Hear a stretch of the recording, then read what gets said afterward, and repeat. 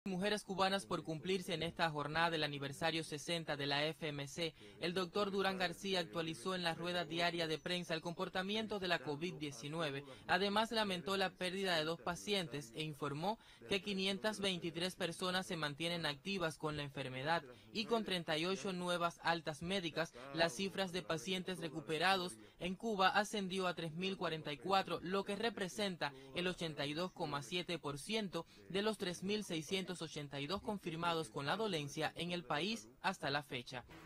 503, o sea, el 96,1%, tienen una evolución clínica estable.